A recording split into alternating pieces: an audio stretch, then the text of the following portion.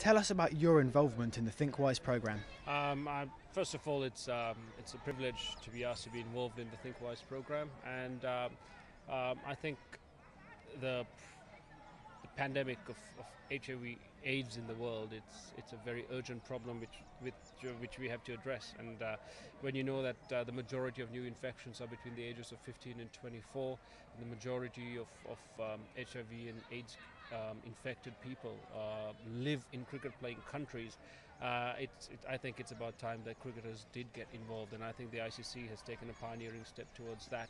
Um, and we need to do uh, a lot more than we are now, especially in the countries that are most affected, um, to make sure that the message spreads, awareness spreads in communities uh, uh, geared towards ending their discrimination um, and over towards HIV and AIDS infected uh, uh, persons, and also being able to talk more freely and openly about the problem.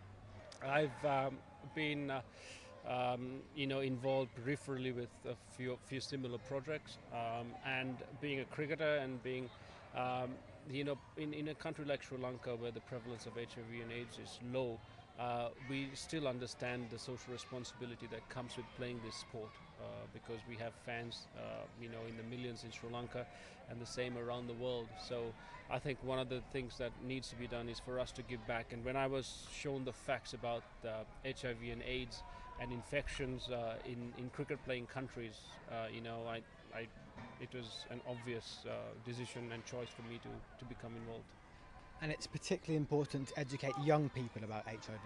It is. Uh, they're, the, they're the future of, of all that we you know see now.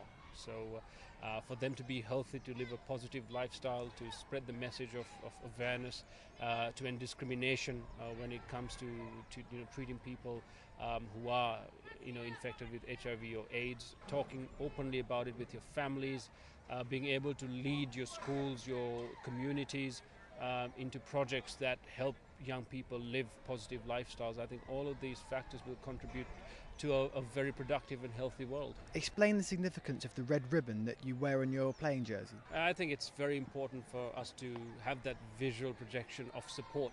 Um, I support ThinkWise. I support ending discrimination uh, towards people infected with HIV and AIDS. Um, I support uh, people uh, to live a positive lifestyle. Um, and I support people to to become more aware of themselves, to take responsibility for themselves, and also to understand that there are people, projects, communities that are all geared towards helping. Um, you know the world try and deal with with HIV and AIDS, and more importantly, helping individuals already infected to live a positive life, to live a productive and full life, and to have their true value and worth recognized by all society.